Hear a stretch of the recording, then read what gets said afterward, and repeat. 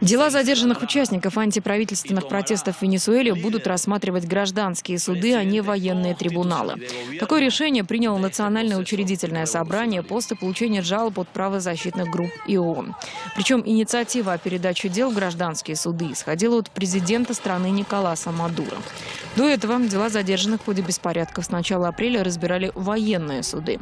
Критики правительства Венесуэлы утверждают, что делалось это специально для устрашения людей и предотвращения новых выступлений оппозиции. Ранее в управлении Верховного комиссара ООН по правам человека сообщили, что более пяти тысяч человек незаконно задержаны с начала протестов в Венесуэле. Как отмечают в управлении, силы безопасности систематически применяют в отношении демонстрантов излишнюю силу, а иногда даже пытки.